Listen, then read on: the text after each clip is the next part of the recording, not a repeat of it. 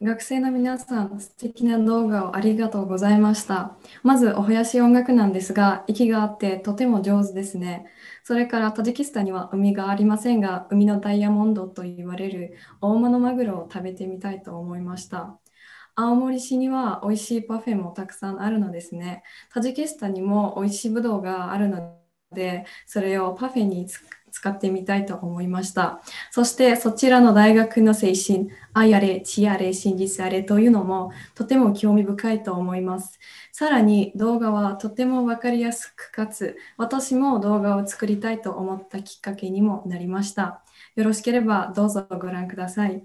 皆さんこんにちは私はタジキスタン国立言語大学日本語学科4年生のシュクロナと申します今日は皆さんに首都ルシャンベにあるソモニ像と国立図書館を紹介します。875年イスモイリソモニという人がタジク民族の国を初めて作りました。国の名前はソモニオンで999年に破壊されました。けれどもイスモイリソモニは初めてタジク民族の国を作った人で昔から今までとても有名です。この銅像はイスモイリソモニーの銅像です。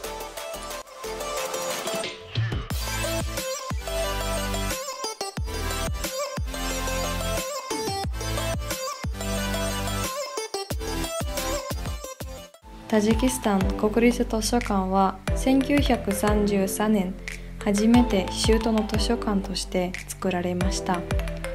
でも当時は小さくかつ普通の図書館でした。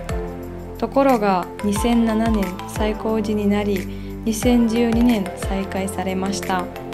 今この図書館は中央アジアで一番大きな図書館であり中に617万9338冊の本があります。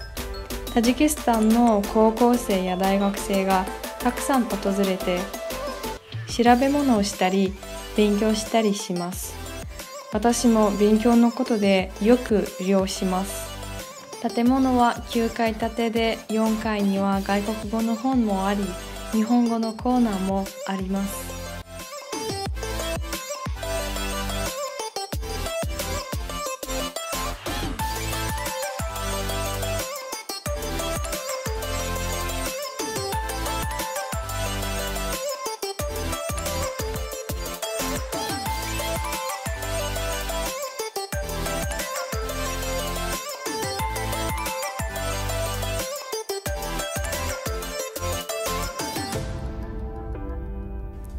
皆さんご覧になっていただきありがとうございました。